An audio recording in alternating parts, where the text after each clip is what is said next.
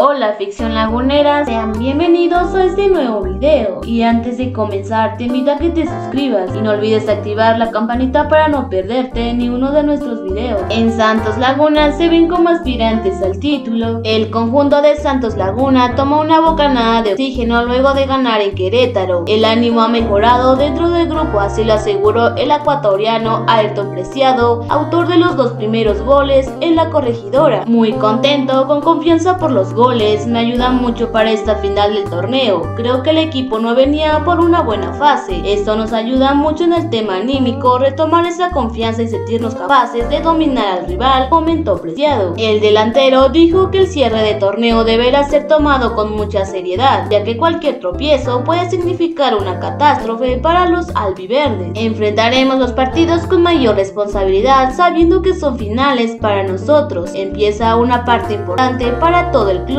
no tenemos que guardarnos nada, mencionó. Preciado fue claro y dijo que buscará repetir la clasificación a la gran final del campeonato, ya que considera el plantel guerrero tiene toda para volver a aspirar al título. Siempre me propongo llegar lo más lejos posible. Pienso que Santos tiene plantel para conseguir lo que conseguimos el torneo pasado, llegar a la final y ganarla porque se nos escapó. Merecíamos más, pero creo que el plantel para conseguir ese objetivo y mucho más finalizó. Y hasta aquí el video queridos amigos, no olviden suscribirse y activar la campanita.